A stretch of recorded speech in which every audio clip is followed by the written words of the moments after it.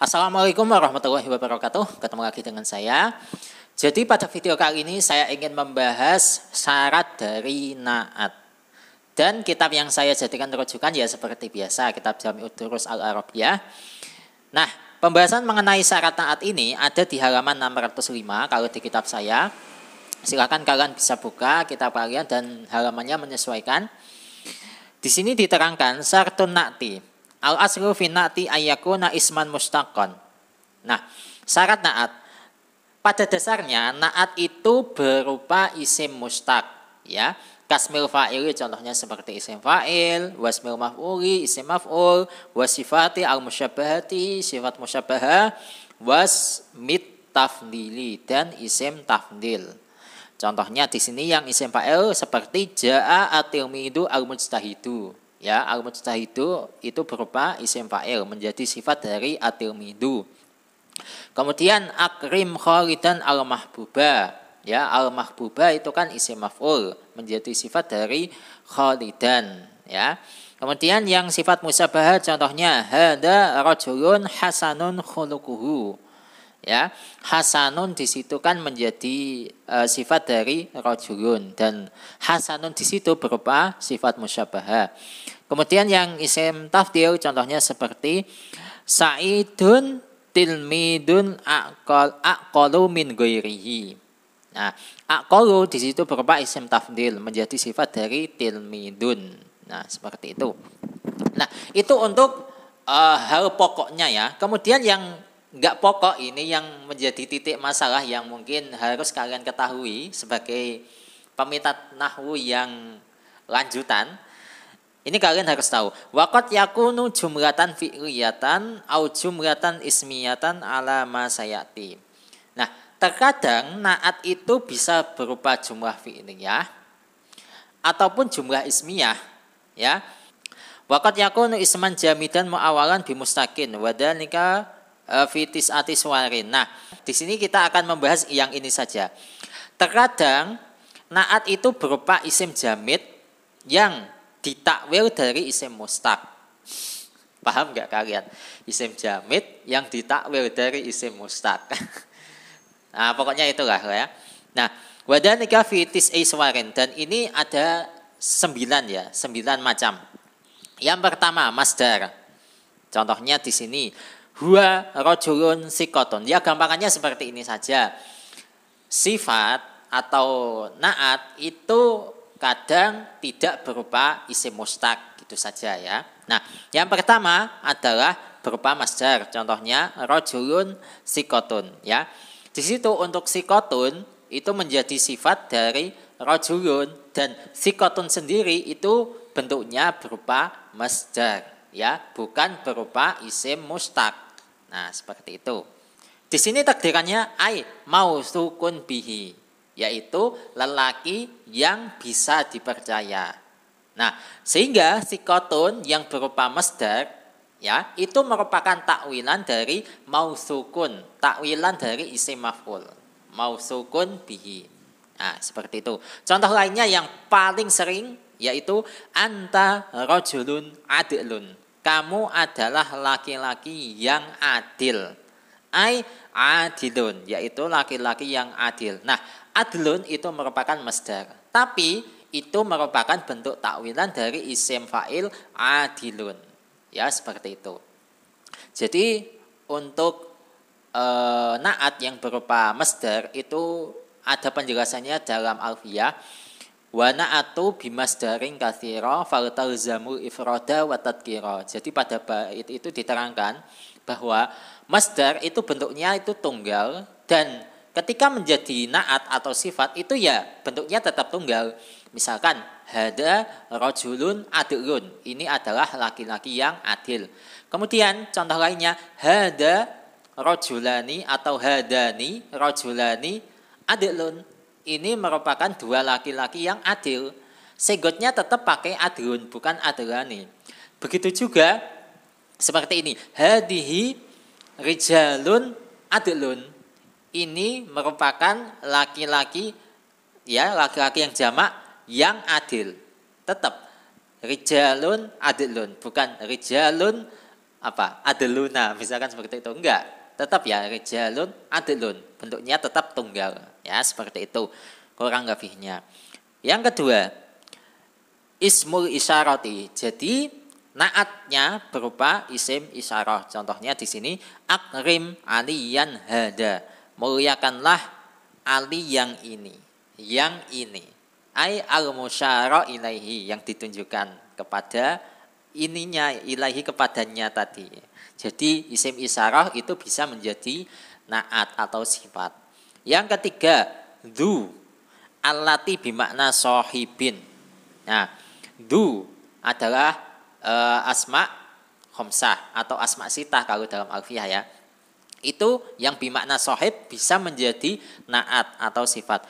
Wadatu alati bimakna sohibah. Dan yang datu itu maknanya sama cuman digunakan untuk yang perempuan atau yang mu'anas seperti itu.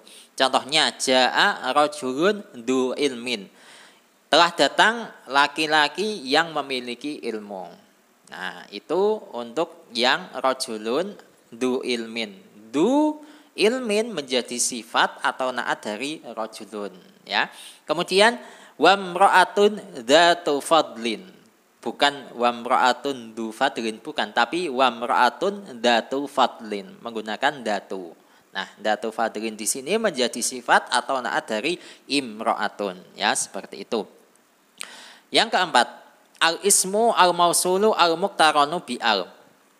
Naat atau sifat itu bisa berupa isim mausul yang disertai dengan al. Contohnya, jaa ar-rajulu alladhi ijtahada telah datang laki-laki yang bersungguh-sungguh.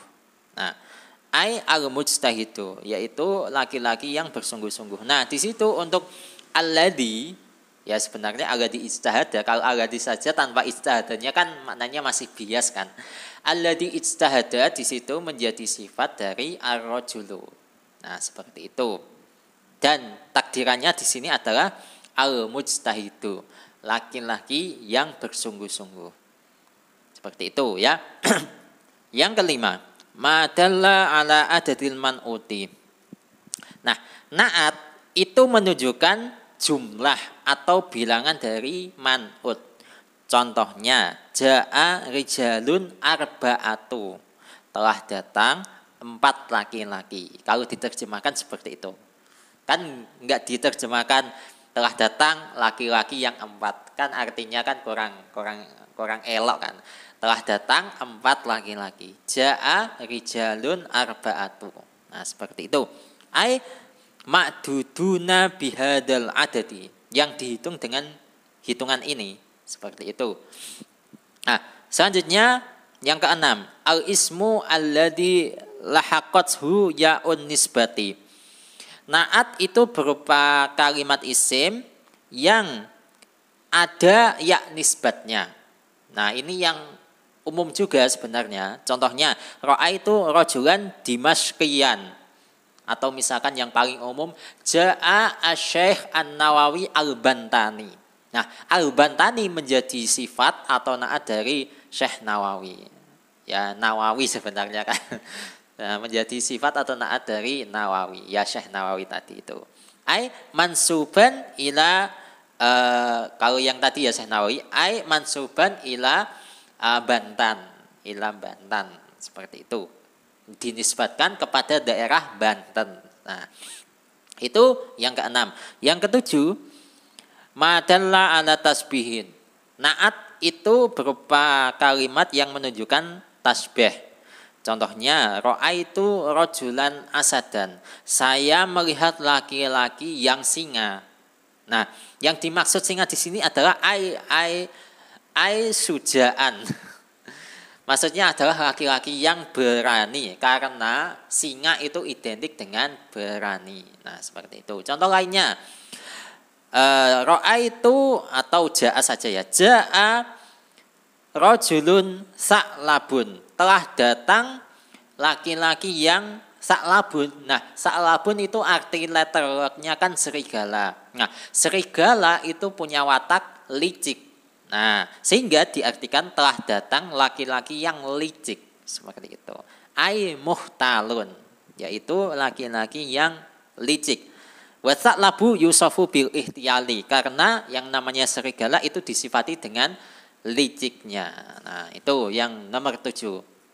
Kemudian yang nomor delapan, ma an nakiratu allati yuradu biha al ibhamu. Nah, naat itu menggunakan kata ma manakirah yang digunakan untuk menunjukkan makna yang mubham. Contohnya, ukrimu rojulam ma. Ya, saya sedang memuliakan laki-laki ya laki-laki siapa pun, siapa pun itu. Ma di situ menjadi sifat dari rojulan. Ay rojulan mutlakon goyro mukoyadin bisifatin ma yaitu laki-laki yang mutlak tanpa terbatasi oleh sifat apa pun. Nah, seperti itu. Laki-laki baik, laki-laki buruk, tampan, jelek, hitam, putih, semuanya saya muliakan. Nah, ukrimu rajulam ma, seperti itu. Wakat yuradu biha ma'al ibhami at-tahwilu. Dan terkadang dimaksudkan itu adalah ibham atau mubham yang tahwil. Maksudnya di sini saya uh, nanti saya pelajari lagi. Tapi kalian perhatikan dulu contohnya. Contohnya di sini li amrim ma jadaa qasirun anfahu. Nah, li amrim ma karena urusan tertentu nanti untuk tafsirannya nanti ya. Karena urusan tertentu jadaa, jadaa itu merasa besar ya. Qasirun seseorang yang pendek anfahu hidungnya. Maksudnya itu laki-laki tadi itu membesarkan hidungnya. E, mungkin maknanya seperti ini ya. Karena urusan yang besar, orang yang seharusnya itu bukan siapa-siapa, terus dia merasa bisa segalanya. Nah, ini kan biasa ya terjadi kalau dalam konteks sekarang ya. Orang desa nggak tahu apa-apa tentang politik, begitu dengar berita tentang politik, tentang isu-isu tertentu, dia itu merasa tahu segalanya tentang politik. Nah, mungkin contohnya seperti itu ya. Nah, li amrima di sini untuk tafsirannya atau takdirannya adalah ai li amrin adimin. Nah, nah, sehingga ma di situ menjadi sifat atau naat dari amrin seperti itu. Nah, Kemudian yang nomor sembilan yang terakhir adalah kalima kalimata kullin wa ayyin adalataini ala stigmalil mausufi sifati. Nah, jadi naat itu berupa kalimat kullun atau ayun yang menunjukkan kesempurnaan mausuf kepada sifat. Contohnya anta rajulun kullur rajuli kamu adalah laki-laki yang apa di sini? Takdirannya adalah ai al kamilu firjuliati, yaitu engkau adalah laki-laki yang sangat sempurna. Ai al kamilu firjuliati yang sempurna dalam sifat kelaki-lakian. Nah, itu. Kemudian contoh lainnya wajah ani rojulun ayu rojulin telah datang kepadaku laki-laki yang laki-laki yang ayu rojulin takdirannya juga sama. Ai kamilun firujuliyati yaitu laki-laki yang beneran laki-laki yang sifat laki-lakinya atau sifat jantannya itu beneran jantan. Ya seperti itu. Dan wa yuqalu aidon dan dikatakan pula ja'ani rajulun ayyuma rajulin. Telah datang kepadaku laki-laki yang beneran laki-laki.